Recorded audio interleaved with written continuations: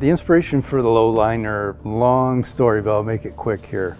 When we do these custom Mopar builds for SEMA, I would like the vehicle to reflect what someone realistically could do with a very realistic budget and realistic uh, skill set and resources to execute the vehicle.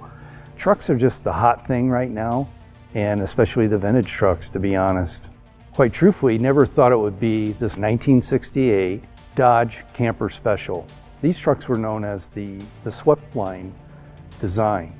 The whole thing is a concept, but the thought of this uh, 5.9 Cummins diesel, put an airbag suspension on it, paint it these beautiful colors that you see right here behind me, and uh, the rest is history.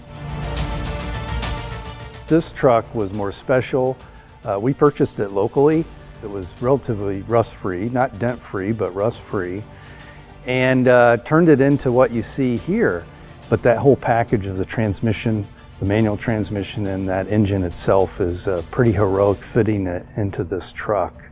Some of the other subtle touches were just when you see the, the tilt front end, it allows you to see all sides of the engine, the 5.9 diesel hiding underneath.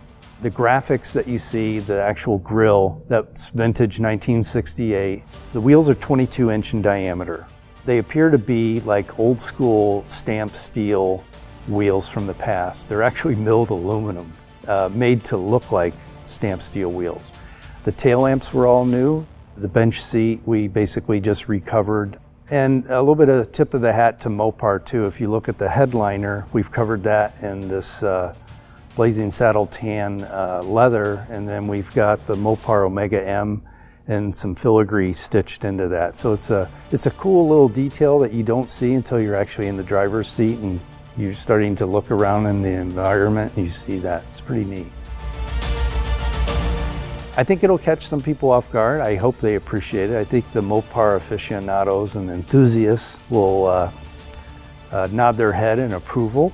So it's, it's kind of exciting. And once again, this is for 2019 SEMA. There are no rules.